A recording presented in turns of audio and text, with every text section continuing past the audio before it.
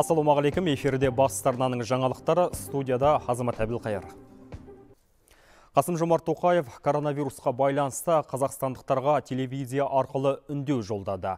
Онда індеттің алдын алу және таралуына жол бермеу үшін мемлекеттік комиссия құрылғаны дәрі дәрмек пен өзге де медициналық заттарды сатып алуға қаражат бөлінгені айтылды. Мемлекет әлеуметтік міндеттемелерін орындауды жалғастырады. Бастысы қазір әр адамның жеке бас тазалығын сақтауы маңызды. Мемлекет басшысы төтенше жағдайға салынған шектеулердің бәріне түсіністікпен сабырмен қарайық. Біз біргеміз деп аяқтады өз үндеуін құрметті отандастар баршаңызға мәлім қазір бүкіл әлем өте күрделі ахуалды бастан өткеруде. Дүние жүзін коронавирустың таралуы алаңдатып отыр. Бұл індет күннен күнге ушығып барады. Өкінішке қарай осы дерт біздің елімізде де тіркелді. Менің кешеге жарлығыммен бүгін таңғы сағат 8-ден бастап қазақстанның аумағында төтенше жағдай енгізілді. Төтенше жағдай режимі 30 тәулікке созылады. Президент жанынан мемлекеттік комиссия құрылды. Оны премьер министр басқарады. Барлық қажетті алдын алу шаралары жүзеге асырылады. Қоғамдық тәртіп қатаң бақылауға алынады. Көпшілік қатысатын іс шаралар тоқтатылды. Көптеген азаматтарымыздың алдағы мереке күндеріне орай жоспар құратынын түсінемін. Дегенмен бүкіл халықтың денсаулығы үшін осындай шешім қабылдап отырмыз. Ірі сауда нысандарының жұмысын шектеуге мәжбүрміз. Бірақ азық түлік дүкендері және базарлар өз жұмысын жалғастыра береді. Ойын сауық орталықтары кинотеатрлар театрлар көрмелер және жұртшылық көп баратын басқа да орындар уақытша жабылады. Оқушылар демалысқа жіберілді. Студенттер қашықтан оқыту жүйесіне көшті. Сондай ақ азаматтарымыз отбасылық іс шараларды өткізбеген жөн деп санаймын.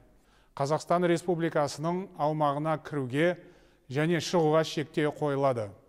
Мемлекеттік шекара бойындағы өткізу бекеттерінде вокзалдар мен әуежайларда санитарлық режим күшейтілді. Менің тапсырмам бойынша үкімет қорынан дәрі дәрмек тест жүйелерін және зертханаға арналған жабдықтарды алу үшін қаражат бөлінді. Ауруханаларда орын жеткілікті. Осы шаралардың барлығы азаматтардың денсаулығы үшін жасалып отырған өте маңызды қадамдар. Мұны дұрыс түсінесіздер деп ойлаймын. Сақтанғанды құдай сақтайды. Бұл індетпен күресуге толық мүмкіндігіміз бар екенін баса айтқым келеді. Бұл қиындықты бәріміз бір халық бір қоғам болып міндетті түрде еңсеріп шығамыз. Бұл уақытша дүрбелең. Осы дағдарыстан абыроймен өтуіміз керек. Енгізілген әр азамат жауапкершілікпен қарауы тиіс. Әр адам барынша сақтанып вирустың таралмауына атсалысуы қажет. Еліміздің барлық азаматтары өкілетті органдардың қызметіне қолғабыс көрсетеді деп сенемін. Осындай кезде бәріміз сабыр сақтап тәртіпке бағынуымыз керек. Дерттің алғашқы белгілері пайда болған жағдайда бірден тұрғылықты жердегі дәрігерге қаралу қажет. Бәріміздің азаматтық жауапкершілігіміз осындай сәтте сыналады.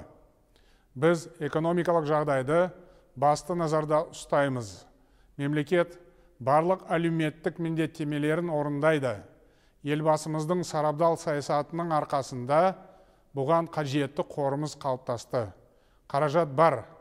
Осы орайда азық түлік қоры жеткілікті екеніне назар аударғым келеді. Күнделікті тұтынатын тауар бағасын негізсіз қымбаттатуға жол берілмейді. Біз ел жұртты дүрліктіретін арандататын әрекеттерге тыйым саламыз. Жалған ақпарат таратып дүрбелең туғызатындар заңға сәйкес жауапқа тартылады. Бұқаралық ақпарат құралдары интернет ресурстар тек ресми мәліметтерге сүйеніп жұмыс істеуі керек. Біз осы жаһандық кеселге қарсы тұру үшін күш жігеріміздің мықты екенін көрсетуіміз қажет. Татулық пен тұтастықтың арқасында кез келген қиындықтан шығуға болады. Сондықтан бәріміз бір адамдай жұмылып қауіпті індетпен күресуіміз қажет. Береке мен бірлік бәрін де жеңеді. Елімізде 9 адам коронавирус жұқтырды. Жетеуі Алматыда, екеуі Елордада. Қазір 1641 адам стационарлық және 981-і үй карантинінде. Қытай халық республикасы мен індеті қауіп жоғары елдерден келген азаматтар қатаң бақылауда. Айта кетерлігі коронавирустың таралуына байланысты желіде жалған мәлімет те көбейді. Сондықтан денсаулық сақтау министрлігі халықты тек ресми ақпаратқа сенуге шақырып отыр. Қазақстандықтарға 15 сәуірге дейін шетелге шығуға тыйым салынды. Өзге мемлекетке емделуге баратындарға ғана рұқсат етіледі. Онда да сырқаттың денсаулық сақтау министрлігі берген құжаттары болуы тиіс. Ал отандық әуе компаниялары ішкі рейстерді қысқартпайды. Барлық әуежай штаттық режимде жұмыс істейді. Бұл туралы азаматтық авиация комитеті хабарлады. Ал халықаралық рейстер туралы нақты ақпарат бүгін белгілі болады. Коронавирустың жаңа түрі соңғы бір тәулікте әлем бойынша 11 мыңға жуық адамға жұқты. 24 сағатта 343 адам көз жұмды. Бұл жайында дүниежүзілік денсаулық сақтау ұйымы хабарлады. Жалпы жаһанда жаулаған кесел 153 мыңнан аса адамға жұққан. Мәліметтер күн сайын өзгеріп жатыр. Қытайда дертке шалдыққандардың саны 81 мыңға жетті. Ал оңтүстік Кореяда инфекция 8236 адамнан табылып отыр. Жұқпалы індет Еуропа елдерінде дендеп тұр. Италияда оны 24 мыңнан астам испанияда 8 мыңға жуық адам жұқтырған. Германия мен францияда науқастар саны 5 мыңнан асты. Ақшта қауіпті дерт белгілері кемінде 3 мың адамнан түркияда 18 ресейде 63 тұрғыннан анықталды. Қытайда осы уақытқа дейін 68 мың адам емделіп ауруханадан шығарылды. Ал 10 мың науқас емін жалғастырып жатыр. Қазір ел астанасы Бейжіңде халықаралық рейстерді тек бір ғана Шоудоу әуежайы қабылдайды. Бүгіннен бастап өзге елден келгендердің барлығы 14 күн карантинге жатқызылады. Сонымен қатар жаңа ережеге сәйкес коронавирусқа қатысты жалған ақпарат таратқандар қылмыстық жауапкершілікке тартылмақ. Ал Өзбекстанда коронавирус жұқтырғандардың саны алтыға жетті. Бүгіннен бастап көрші мемлекет шетелдіктер үшін шекарасын жауып, сыртқы әуе рейстерін шектеп қойды. Темір жол қатынасы екі күннен кейін уақытша үзіледі. Балабақша, мектеп, колледждер мен университеттер жұмысын тоқтатып, оқушылар мен студенттер демалысқа жіберілді. Мәдени және спорттық шараларда, мекемелерде мәжілістер мен жиындарды өткізуге де тыйым салынып отыр. Індет ошағына айналған Италияда дертке шалдыққандардың саны күрт саны күрт өсті. Соңғы бір тәулік ішінде бұл елде коронавирусты 3,5 мыңнан астам адам жұқтырған. Қауіпті кеселден қайтыс болғандардың жалпы саны 1809-ға жетті. Қазір Италияда барлық қоғамдық орындар жабық. Спорттық және мәдени іс-шаралар өткізуге де тыйым салынды. Бүкіл ел карантинде. Чехияда да коронавируске байланысты жалпы ұлттық карантин енгізілді. Тәртіпке сәйкес тұрғындардың жүріп тұруына шектеу қойылды. Азаматтардың тек аурухана мен дүкенге және жұмысқа баруына ғана рұқсат етілген. Карантин ережелерінің қатаң бақылауы полицияның бақылауында. Ережені елемегендер айыппұл төлейді. Еске сала кетейік, өткен аптада Чехия төтенше жағдай режимін жариялаған еді. Бүгінде бұл елде коронавирус жұқтырған 250 науқас бар. Ел жаңалықтарына ойсайық, елордада азаматтық қорғау қызметтері тәулік бойы күшейтілген жұмыс кестесіне көшті. Қоғамдық көлік қызметін көрсетуші мемлекеттік және стратегиялық нысандарда қауіпсіздік күшейтілді. Бір қатар нысандардың жұмыс кестесі бекітілді. Атап айтқанда, ірі сауда нысандары және ойын сауық орталықтары сағаты 10.00-ден кешкі 18-ге дейін жұмыс істейді. Ал киім кешек базарлары сағат 11.00-ден кешкі 17.00-ге дейін қызмет көрсете береді. Қоғамдық тамақтану орындарында сауда ойын сауық орталықтары дезинфекциядан өтіп тұрады. Мейрамхана, дәмханалар және өзге де қоғамдық тамақтану орындарының жұмыс уақыты 22.00-ге дейін шектелді. Оның өзінде 50 адамға дейін қызмет көрсетілуі тиіс. Қоғамдық көліктер қалыпты режимде жұмыс істейді. Автобустар соңғы аялдама бекетінде тиісті залалсыздандырудан өткізіледі. Балабақшалар жұмысын қалыпты режимде жалғастырады. Ал баланы апару не апармауда атана өз шешеді. Шығыс Қазақстан облысындағы барлық мекемелер мен құзырлы органдар күшейтілген кесте бойынша жұмыс істеп жатыр. Аймақта 2505 обсервациялық орын әзірленді. Өскеменнің өзінде дезинфекция заттарымен жабдықтайтын 10 компания бар. Ондағы мамандар кез келген уақытта көмек көрсетуге дайын. Облысқа вирус ошағы тіркелген елден келген 73 адам ауруханаға жатқызылып, олардың 64-і шықты. еш күмән жоқ олар ә, біріншіден науқастардан бөлек сонымен қатар ең маңызды біздің мақсатымыз осы күдікті болған науқастармен қатынаста болатын медициналық қызметкерлердің денсаулығы мен қаупі үлкен біздің міндетіміз. Сондықтан біз жүз пайыздық арнайы киімдер мен бетперде бір ретті қолданатын киімдер бір ретті қолданатын қолғаптар жабдықталды. Павлодарда жаңа 109 қызметі іске қосылды. Бірыңғай байланыс орталығы коммуналдық шаруашылық абаттандыру мәселелері жөнінен тұрғындардың арыз шағымдарын қабылдайды. Сонымен қатар бұл орталыққа шұғыл қызмет көрсету, денсаулық сақтау мекемелері мен дәріханалар желісіндегі ақпараттар келіп түседі. Елімізде коронавирусқа байланысты жарияланған карантин тұрғындарда алаңдатып отыр. Олар медициналық маскалар мен залалсыздандыру заттарын қайдан алуға болатыны жайында сауалдарын жолдап жатыр. Бүгін таңертең медициналық маскаларды қайдан сатып алуға болады деген бірқатар сұрақтар қойылды. Біздің операторлар ол қоңырау иелерін 1406 1409 немесе 103 нөмірлеріне қайта жолдайды. Өйткені барлық толық ақпарат сол нөмірлер арқылы беріледі. Қазіргі уақытта актуалды тақырып болғаннан кейін тұрғындар хабарласып жатқаннан кейін операторларды тиісті ақпаратпен қамтамасыз еттік.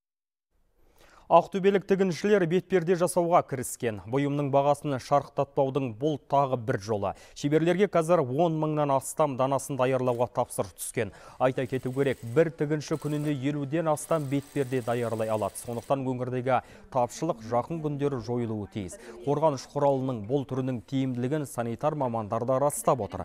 Тыныс алу мүшелеріне зақым келтіретін көптеген дертке кедергі бола алады. Тағы бір құндылығы бұл бетперделерді бірнеше мәрте қолдануға да болады.